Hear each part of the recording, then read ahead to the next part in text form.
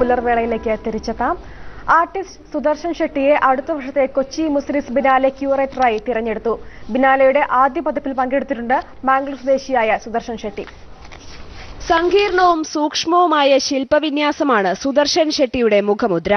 ആയിരത്തി തൊള്ളായിരത്തി എൺപത്തിയഞ്ചിൽ Mumbai sir J J school of ആർട്സിൽ നിന്ന് പെയിന്റിംഗിൽ ബിരുദം നേടി. ചിത്രകാരനായി തുടങ്ങിയെങ്കിലും പിന്നീട് പ്രതിഷ്ഠാപനങ്ങളിൽ ചുവടുറപ്പിച്ചു.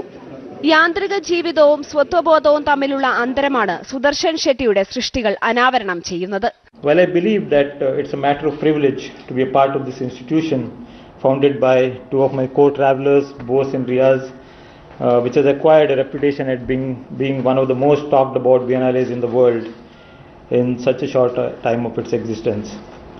I accept this position with a great sense of responsibility. ആയിരത്തി തൊള്ളായിരത്തി തൊണ്ണൂറ്റി ഒൻപതിൽ ജപ്പാനിലെ ഫുക്കുവോക്കയിൽ പൊതുശില്പം നിർമ്മിക്കാൻ നിയോഗിക്കപ്പെട്ടവരിൽ ഇന്ത്യയിൽ നിന്നുള്ള ഏക കലാകാരനാണ് സുദർശൻ ഷെട്ടി. തിരുവനന്തപുരത്ത് നടന്ന ചടങ്ങിൽ മന്ത്രി കെ സി ജോസഫാണ് പുതിയ ക്യൂറേറ്ററെ പ്രഖ്യാപിച്ചത്. മനോരമ ന്യൂസ് തിരുവനന്തപുരം.